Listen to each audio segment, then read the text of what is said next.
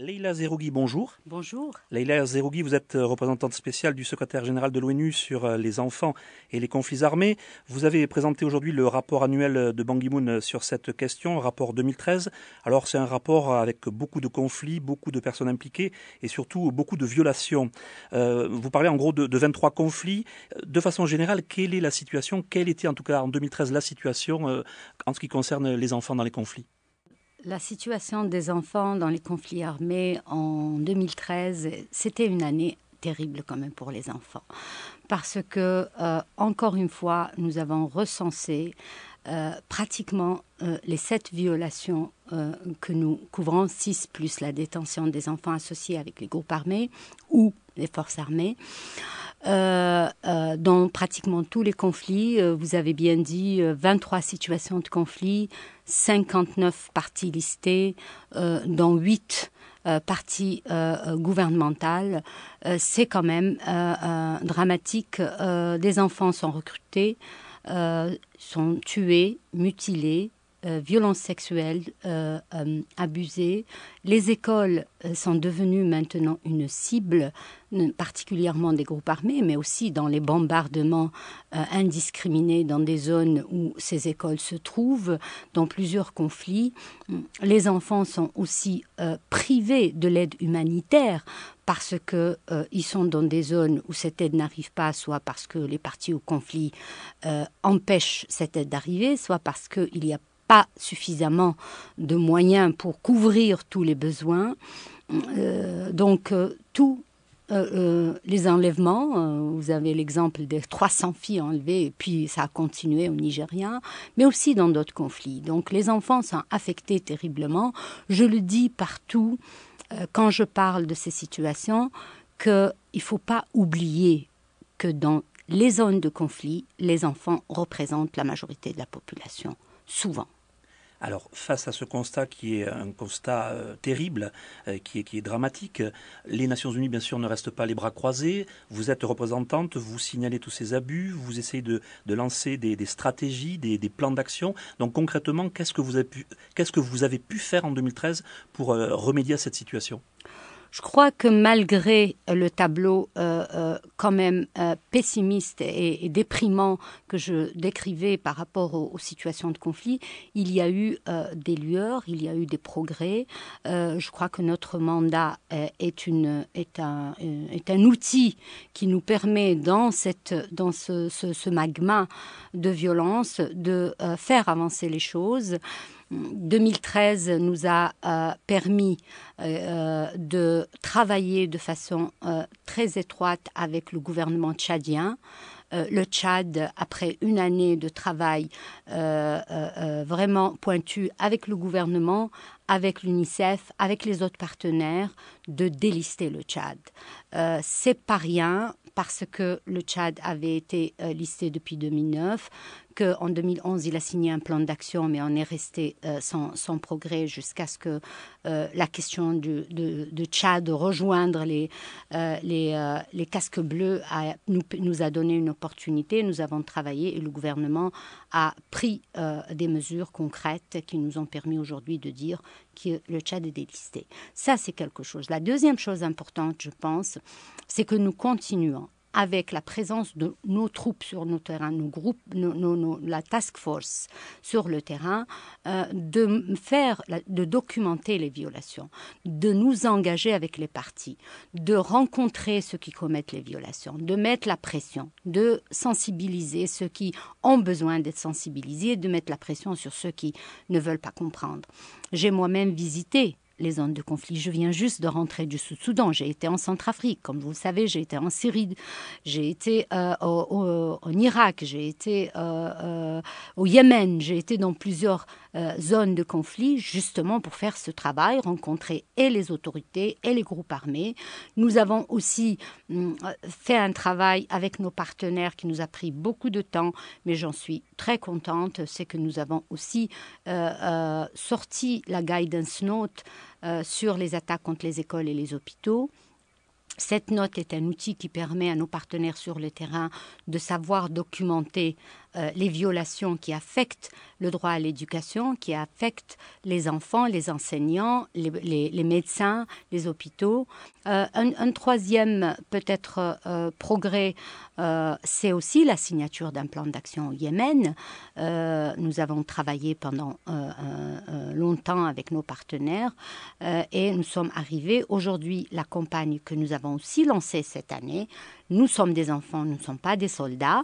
Cette campagne a permis de délister le Tchad, a permis de signer un plan d'action avec, avec le Yémen et va nous permettre d'avancer avec d'autres pays. J'ai été au Sud-Soudan.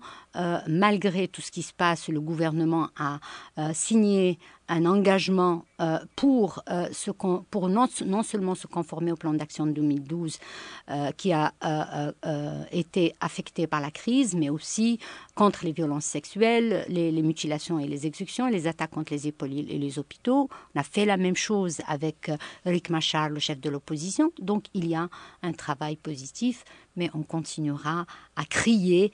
Euh, nous sommes la voix des enfants, nous continuerons à dire arrêtez, on n'a pas besoin de leur faire ce qui est en train de se faire aujourd'hui sur le terrain. Alors on parle de 23 conflits, vous avez euh, cité quelques-uns. Euh, il y, a des conflits qui clairement continuent, de, où les, partis, tant peut-être les, armées nationales que les, groupes rebelles et, groupes armés sont sourds en fait à, vos appels. Je pense notamment à la Syrie.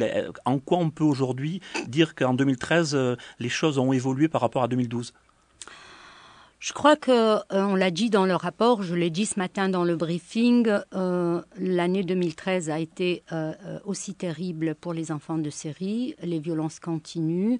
le pire, c'est que nous, nous, nous, avons vu avec la démission de M. Brahimi s'éloigner la solution politique, qui est l'unique et la seule solution pour mettre fin aux violations. Hum, le secrétaire général l'a répété plusieurs fois. Euh, nous euh, sommes inquiets pour les enfants de la Syrie, pas seulement par ce qui se passe en Syrie, mais aussi par ce qui se passe en Irak. Euh, c'est quand même terrible ce qui se passe dans cette zone. des armées qui sont défaites ou qui commettent des violations. Euh, des, groupes armés qui, sont complètement, qui sortent du néant, qui commettent des, atrocités et qui impliquent les enfants. Les images qui arrivent de l'Irak, c'est la même chose. Euh, mais on continue à travailler avec les partis concernés, du moins ceux qui sont ouverts à, discuter avec nous, le gouvernement syrien, mais aussi euh, le FSA, l'armée syrienne libre. Nous continuons à mettre la pression sur les groupes armés. Nous avons listé Nusra, euh, euh, Harar al-Sham et euh, ISIS et le, les, le YPD, les, les, Kurdes. Donc nous continuons à mettre la pression. Nous demandons à ces groupes d'arrêter les violations et nous continuons à mettre la pression sur le Conseil de sécurité pour arriver à une solution qui oblige les partis à faire cesser les violations et à se diriger vers une option euh, raisonnable pour mettre fin à ce conflit. Justement, vous listiez le, Conseil de sécurité, il se réunit chaque année, il évalue euh, donc euh, vos actions, il, les conforte par des résolutions. Quels sont les moyens qu'a le Conseil aujourd'hui? Et est-ce que ce sont les, seuls moyens véritables juridiques? Ou est-ce qu'on peut aller au-delà et pour lutter notamment contre l'impunité envisager donc la Cour pénale internationale et d'autres moyens? Le Conseil de sécurité est le seul euh, mécanisme qui est doté de moyens pour euh, imposer des solutions. Il n'y a aucun autre qui peut le faire. La Cour pénale internationale ne peut être saisie si les partis n'ont pas ratifié, comme c'est le cas en Syrie, en Irak, euh, dans beaucoup de pays. la Cour pénale ne peut pas s'autosaisir elle ne peut se saisir que des situations dans les pays qui ont ratifié. Donc il n'y a que le Conseil qui peut référer une partie qui n'a pas ratifié devant euh, euh, la, Cour. il y a, euh, en tout cas, nous, on explore toutes les opportunités pour mettre la pression sur les partis. nous travaillons avec les, organisations régionales, inter, subrégionales, intergouvernementales. Nous travaillons avec les, les gouvernements qui peuvent avoir une influence parce qu'ils ont des relations privilégiées avec une partie au, du conflit.